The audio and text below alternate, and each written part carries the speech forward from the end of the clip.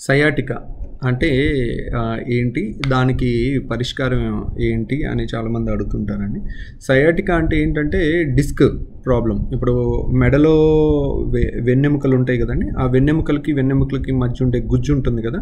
ఆ గుజ్జు కనుక అరిగిపోయి బయటికి వచ్చి నరం మీద నొక్కుకుంటే కనుక ఆ నరం అంతా ఆ నరం చేసే పని అంతా కూడా ఏ చేతికి ఎక్కడ సెన్సేషన్ ఉంటుందో ఆ సెన్సేషన్ అంతా మనకి లాగినట్టు అనిపిస్తుంది.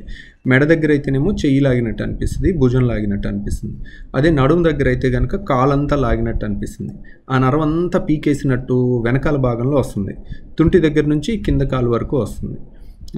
సో అది డిస్క్ ప్రొలాప్స్ అంటారు. దానివల్ల వస్తుంది. డిస్క్ ప్రొలాప్స్ అయ్యి ఆ గుజ్జు ఉంటుంది కదా ఆ గుజ్జు అనేది నరం మీద నొక్కు ఉంటుంది కదండి. అది ఫస్ట్ నెల భయంకరమైన పెయిన్ ఉంటుంది. యూజువల్గా ఆ స్టేజ్ కనుక దాటగలిగితే కనుక కొన్ని ట్యాబ్లెట్స్ వాడితే లాస్ట్ టైం కూడా నేను మెడ నొప్పి వచ్చిన వీడియోలో షేర్ చేశాను.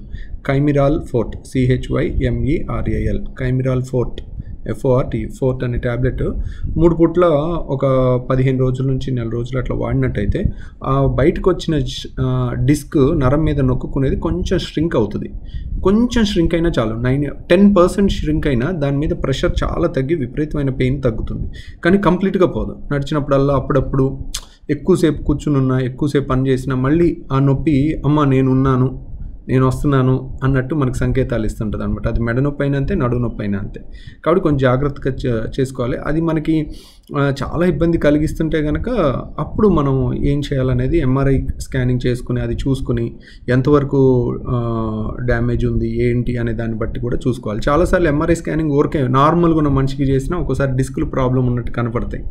కాబట్టి మనకి ఏ డిస్క్ ప్రాబ్లం ఉందనేది చూసుకోవాలి ఎంఆర్ఐ స్కానింగ్లో ఆ డిస్క్ దగ్గర ఆ నరమే నొక్కుంటుందా అనేది చూసుకోవాలి. ఒక్కోసారి ఏంటంటే మనకి కంప్లైంట్ ఒక నరం వల్ల ఉంటుంది.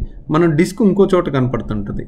ఎంఆర్ఐలో అందుకని ఎంఆర్ఐ కనుక మనం చేసి దాని ప్రకారం ఒక్కోసారి ఆపరేషన్ చేస్తే డిస్క్ తీసేసినా కానీ ఒక్కోసారి నొప్పి తగ్గదనమాట అందుకని మనం ప్రాపర్ కోఆర్డినేషన్ అది చేసుకొని పర్ఫెక్ట్గా చేసుకొని ఇదన్నీ చేసి దా ఈ డిస్క్ వల్ల నరం నొక్కోవటం వల్ల వస్తుంది. ఊరికూరికే ఇది చాలా సంవత్సరాలు సంవత్సరాలు తగ్గట్లేదు. చాలా ఇబ్బంది పడుతున్నాం. అస్సలు నడవలేకపోతున్నాం అంటే ఒక్కోసారి వాళ్ళకి ఆ సర్జరీ చేసిన తర్వాత చాలా రిలీఫ్ పొందుతారు. అంత భయపడాల్సిందేం కాదు. సో చాలా సింపుల్గా అయిపోతుంది. అన్ని హాస్పిటల్లో జరుగుతుంటే మా హాస్పిటల్లో కూడా న్యూరో సర్జన్స్ చక్కగా చేస్తారు. కాబట్టి దాని గురించి ఏం వరీ అవ్వక్కర్లేదు. కానీ న్యాచురల్గానే తొంభై మందికి తగ్గిపోతుంది. సో అలా రెస్ట్ తీసుకోవటం అలా అంటే అనవసరంగా ఎక్కువ తిరగటం అట్లాంటివి కాకుండా బరువులు ఎక్కువ ఎత్తటం ఒకవేళ బరువు ఎక్కువ ఉన్న వాళ్ళు ఉంటే బరువు తగ్గే ప్రయత్నం చేస్తే ఈ నొప్పి చాలా వరకు తగ్గిపోతుంది. అసలు ఏవి ఆపరేషన్ లేకుండా మందులతోనే సెట్ అయిపోతుంది.